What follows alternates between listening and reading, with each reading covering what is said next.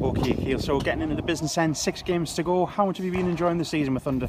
Yeah, it's been um, it's been a good season. Um, obviously, I know we had a slow start, and you know there were a bit of movement in coaching and you know players in and out and things like that. But I think as we've sort of got a bit of consistency in the team, and obviously Simon and um, Dennis has come in, and you know we've got a bit of structure there.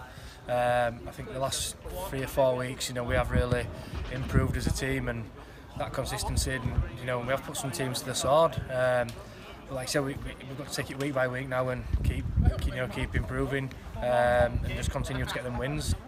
What sort of test have you found League One personally? Obviously playing at Championship level last year, so how have you adapted and what have you found to be the biggest differences?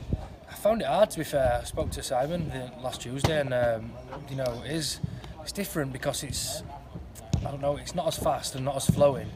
But then again, in the middle, you've got big blokes pounding down you on slow play balls and things like that. So it is. I have, initially, I found it difficult, um, but I think obviously, I, I think my game's starting to build now as the season's coming to an end, and hopefully, you know, keep um, keep improving, you know, and um, get the best out of myself, you know, come to the end of the season, and um, you know, the bigger games coming up. London Skolars on Saturday. Uh, hopefully, a, a, decent crowd down here with it sort of sitting in between the uh, the North East Rugby League finals as well, and a, a, big day for the sport in the region. So, what sort of test are you expecting from Skolars, who have been probably the surprise package this season? I think it's fair to say.